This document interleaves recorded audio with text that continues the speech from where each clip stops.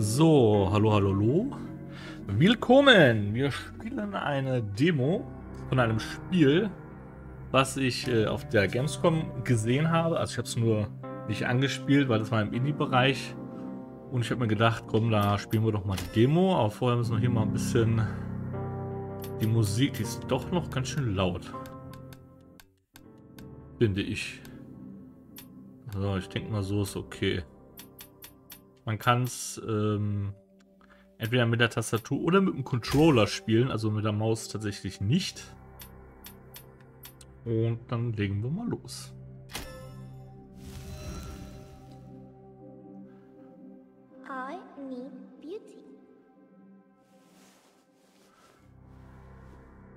Und da haben wir ihn auch schon. Backboy. Okay, wir brauchen Schönheit. Also wir können ihn bewegen. Okay. Und wir können hier was nehmen. Aha.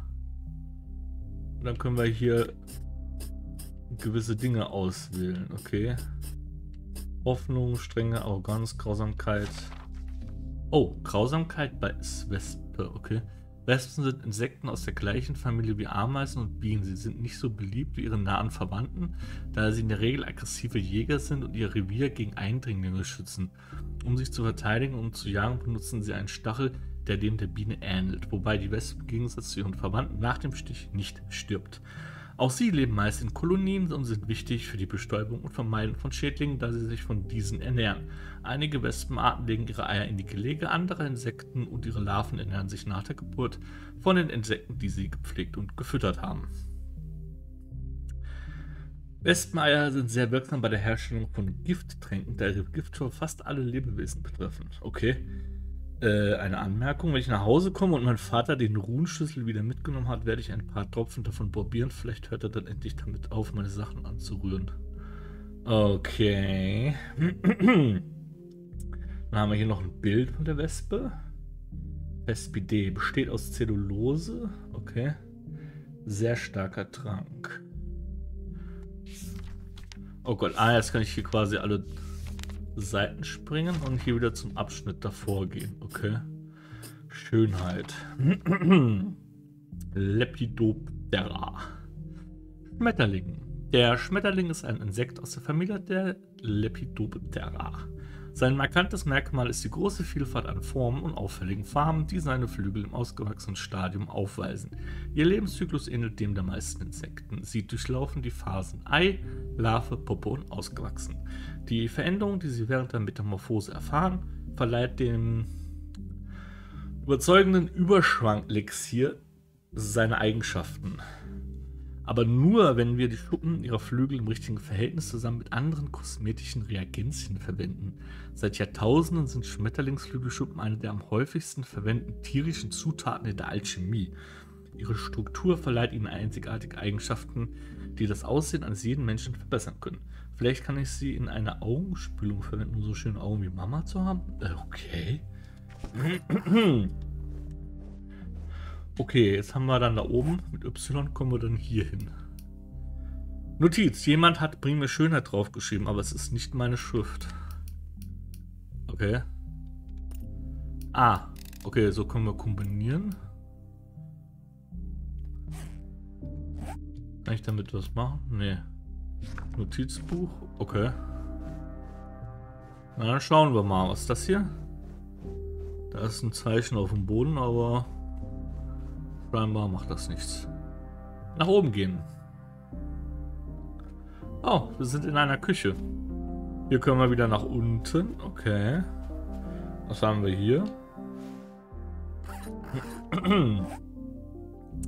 Fläschchen, ein Gefäß, das mit einer gelb-grün zähflüssigen Flüssigkeit gefüllt ist. Okay. Ganz schön alles ausgeräumt hier irgendwie, alles dreckig.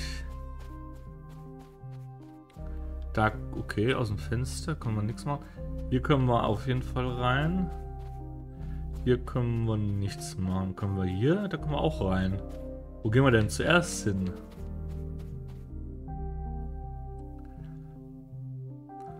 Oh. Das Wohnzimmer oder Esszimmer besser gesagt. Was haben wir hier? Oh, eine Vase und damit kann ich jetzt hier... Kann ich das da rein? Nein? Nö? Okay. Oh, da fehlt ein Zeiger an der Uhr.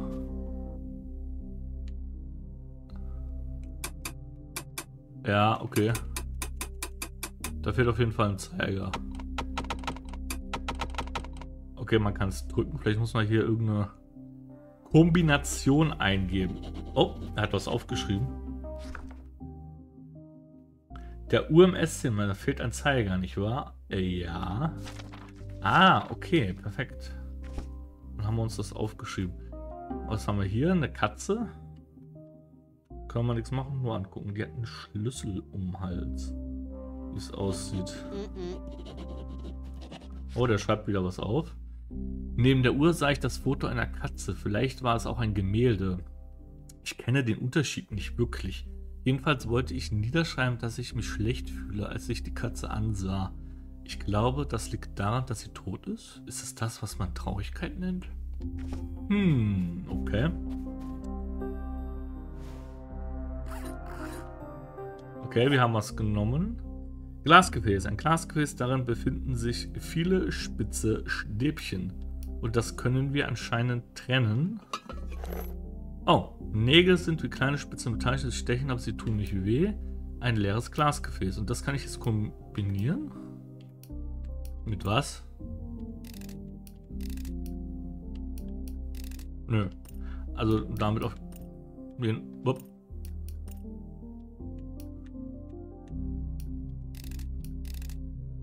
Nee, okay. Ich kann es mit nichts kombinieren. So, was haben wir hier? Noch ein Bild. Okay. Dort ist ein seltsames Gemälde im Esszimmer. Es sieht aus wie eine Person, die Klavier spielt. Ja, so, hier ist auf jeden Fall blockiert, da kommen wir nicht durch. Okay, hier kommen wir weiter.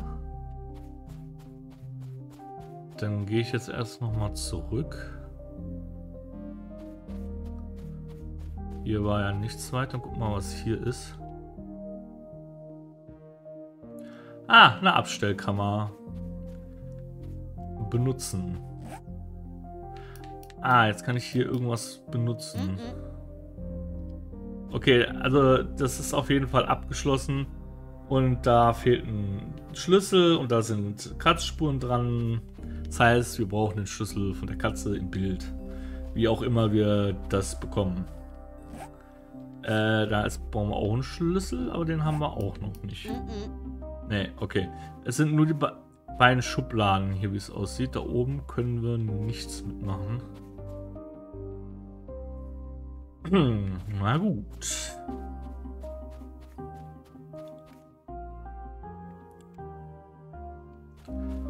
Dann brauchen wir den Schlüssel. Aber ich kann hier nichts machen, wie es aussieht. Hm. Dann schauen wir mal hier neben. Oh! Auf einmal wird es sehr viel größer. Hier ist ein Buch. Oh.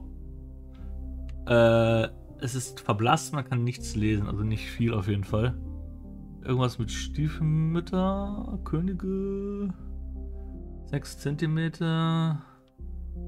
Okay.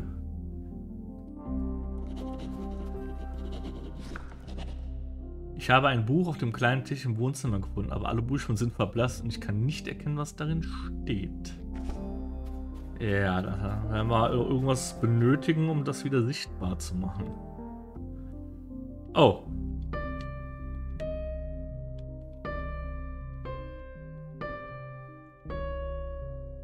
Ja gut. Ich denke mal, hier werden wir auch irgendwas drauf spielen müssen.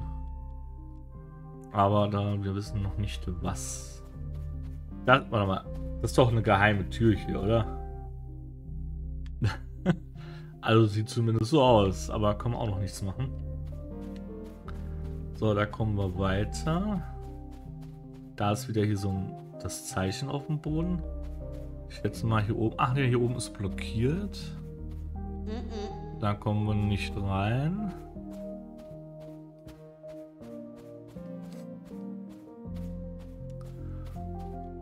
Was haben wir hier? Einen dunklen Flur. Okay. Irgendwas mit Comeback.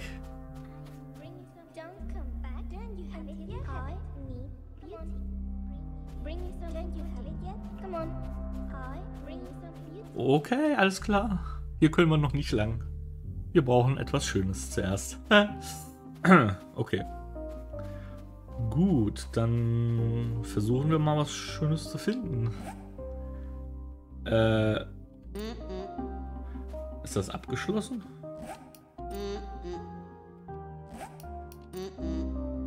Okay. Gut, nee, da kommen wir auch nicht weiter. Ja nun, dann gibt es da nur noch einen Weg.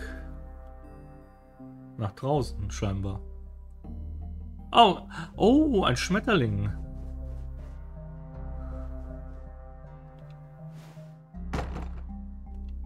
Okay.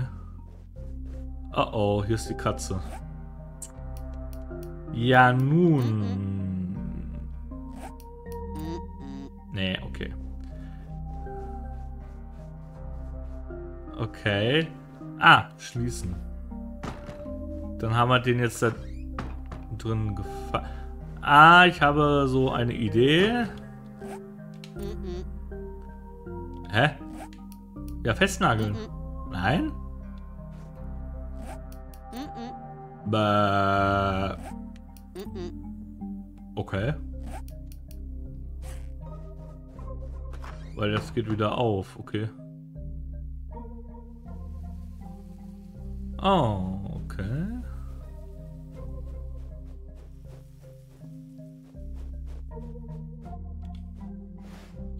Eine Schaufel. Ja, dann werden wir gleich etwas ausgraben, glaube ich, befürchte ich. Okay, hier ist wieder so ein Zeichen.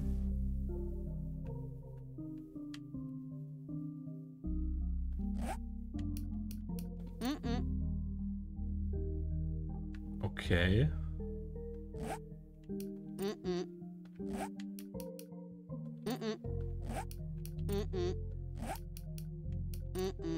Okay, hier kann man auch irgendwas machen.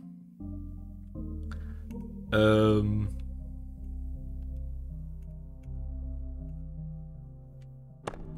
Oh, doch, man kann es bewegen.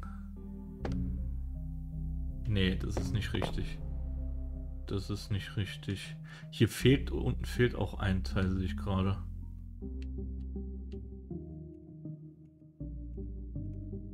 Ähm.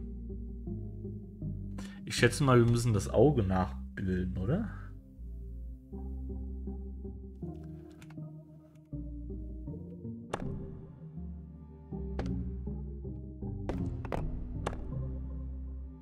Ah, oder, oder so, man kann es drehen.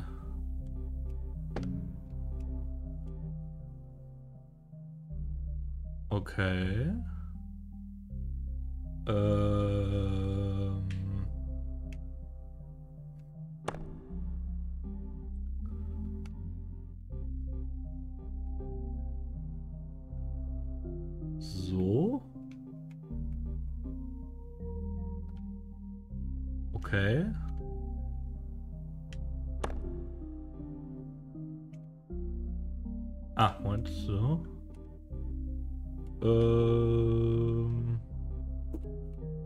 Schätze mal so. Oder?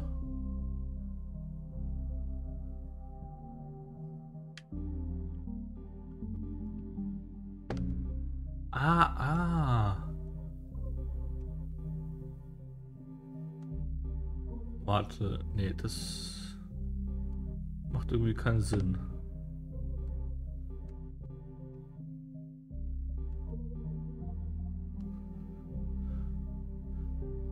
Äh, nee, das das macht irgendwie keinen Sinn.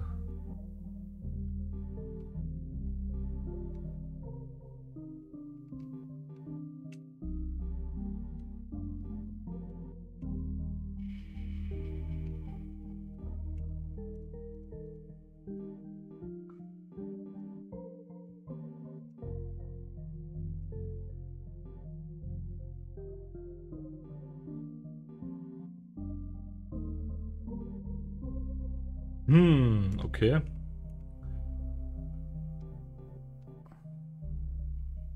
Das... Okay, da fehlt aber wie gesagt ein Teil.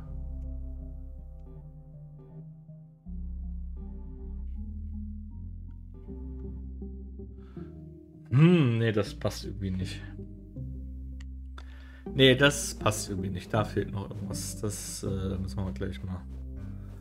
Wir, wir buddeln mal die Katze aus. Wir buddeln mal die Katze aus. So. äh. Oh. Wir haben einen Schlüssel. Yay. Okay. Was haben wir denn hier noch? Eine Hütte. Oh. Ah. Okay, da ist noch eine verschlossene ähm, Schublade. Und wir haben kombinieren damit. Nagelpistole. Jetzt, wo sie geladen ist, kann ich damit Nägel verschießen. Dafür ist sie schließlich da, oder? Yeah. Das heißt, wir können das hier schließen und können das festmachen. Ah. Sehr gut. Jetzt ist der Schmetterling drinnen und können ihn fangen. So, was gibt es denn hier hinten noch?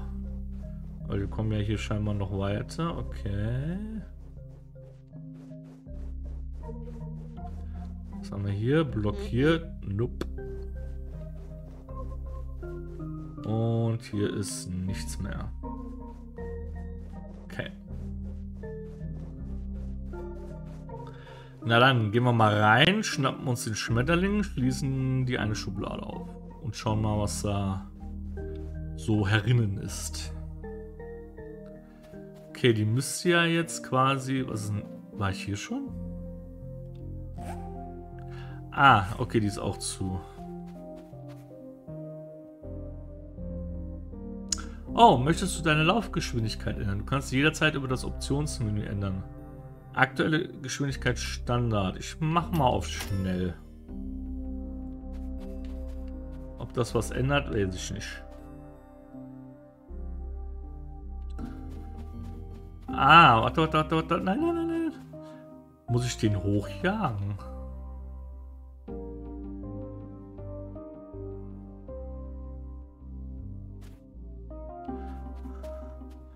Ah, eventuell muss ich hier eine Blume oder sowas in, reinmachen, dass der... Ah, okay.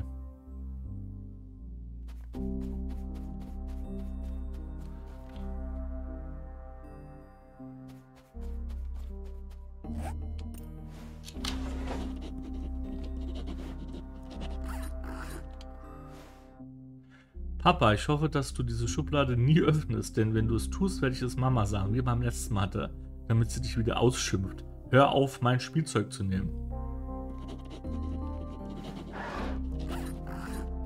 Okay. Im Schrank, gab es eine verschlossene Schublade. Drin fand ich einen Halter, ein Stück Metall und eine Notiz. Okay. Ähm, ah, das ist hier für beteiligt. Es hat ein Loch am Ende und ein kleines Gelenk am anderen. Da können wir das Rätsel mit der Statue fertig machen. Halter. Aus irgendeinem Grund weiß ich, dass er aus Messing und Perlmutt ist, auch wenn ich nicht weiß, was das ist. Kann ich das kombinieren? Nö. Ein Halter. Ah, den Schlüssel habe ich nicht mehr. Okay. Das ist ein Einmalschlüssel. Der Halter. Hm.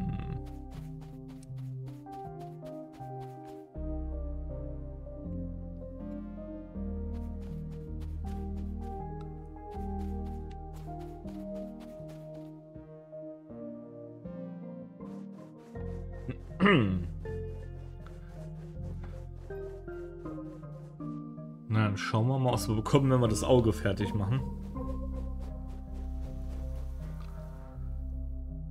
Äh, Inventar.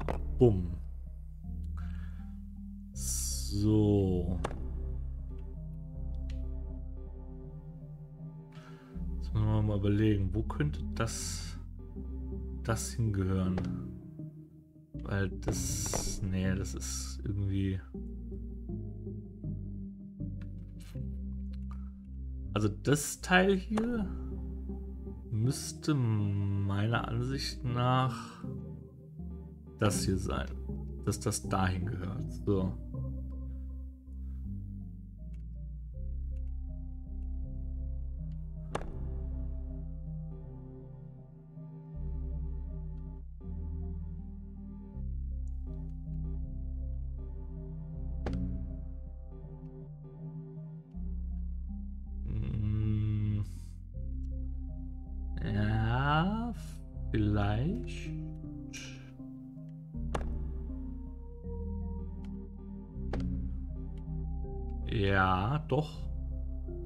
Sollte passen.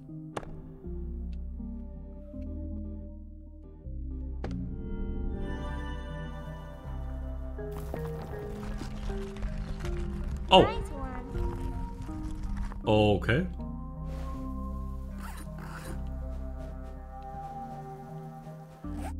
Was ist das?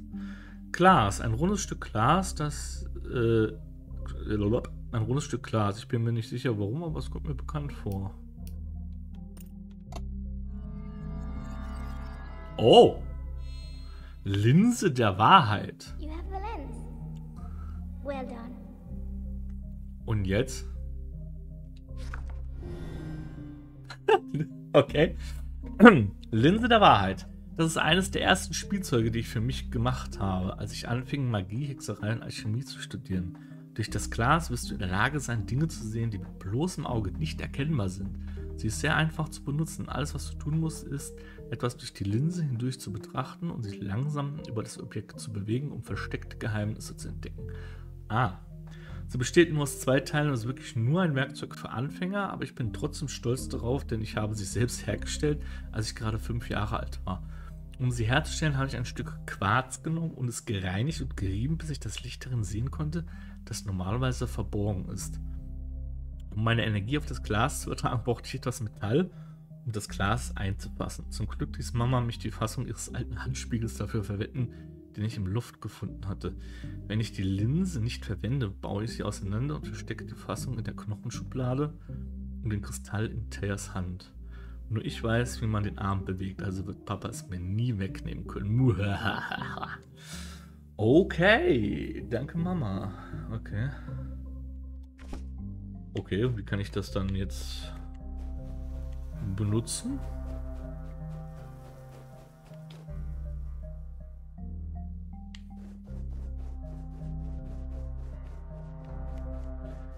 Linse der Wahrheit. Hm.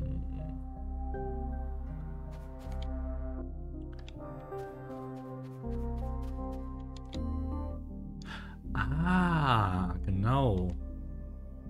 Linse der Wahrheit. Okay.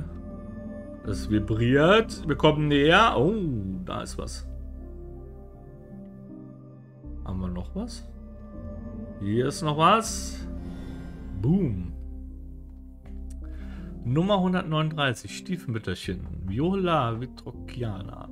Das Stiefmütterchen ist eine hybride Zierpflanze, die von der wilden Art Viola tricolor abstammt. Sie gehörte zur Gattung der Viola und ist Teil der Familie der Violacea. Die ersten dokumentierten Exemplare des Stiefmütterchens vor zwei Jahrhunderten auf und wurden von den Königen der Feuchten Inseln auf angebaut. Die Begeisterung für diese Pflanzen in der Oberschicht, die über die idealen Gewächse Haus Stahl verfügte, führte dazu, dass innerhalb von nur zwei Jahrzehnten mehr als 400 Stiefmütterchensorten entstanden.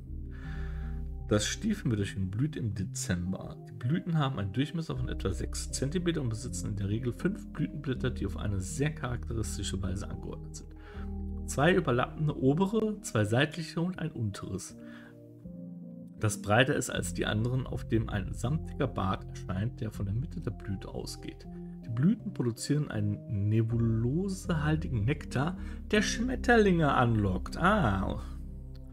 Und das Stiefmütterchen zu einem unfehlbaren Lockmittel für wechselseitige Arten macht, die die Ausbreitung und das Überleben der Pflanzen in jeder Umgebung sichern, in der diese Organismen gedeihen.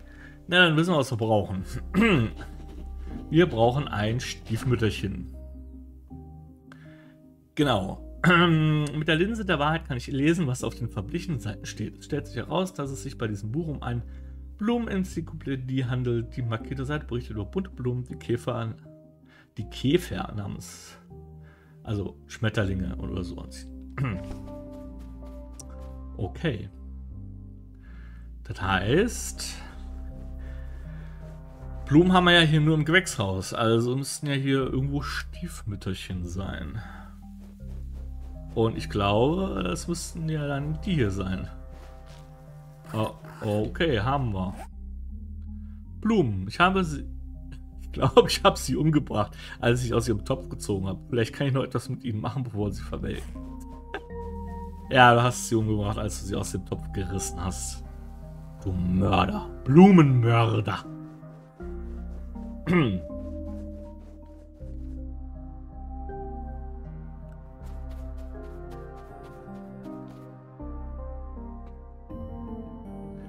So, Smetterling.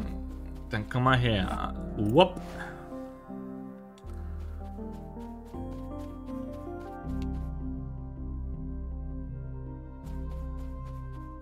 Und zurück.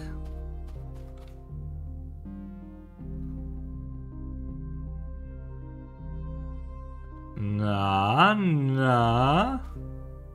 Ja, ja, ja.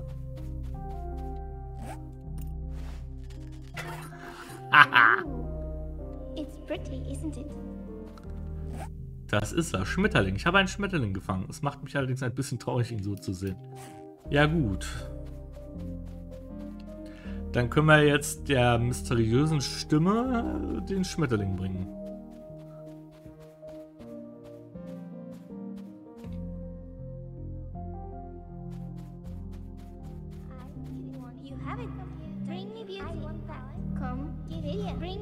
Komm schon, bring, brauch, ich will das, ich will das. Gib es mir. Oh mein Gott. Soll ich sie... Ah! Ja, ist ja gut. Hier.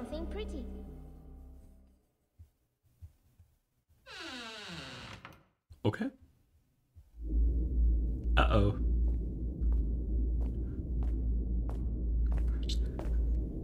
Hm. Well done. But we are not finished yet. Okay.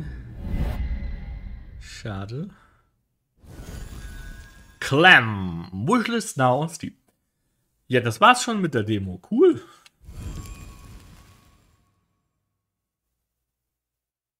Das war's. Schön. Ja, ich würde sagen, ist doch ein nettes kleines äh, Adventure-Game. Kann man mal machen. Ich habe es schon gewishlist oder ich werde es noch wishlisten und bin gespannt. Bis dann. Tschüss.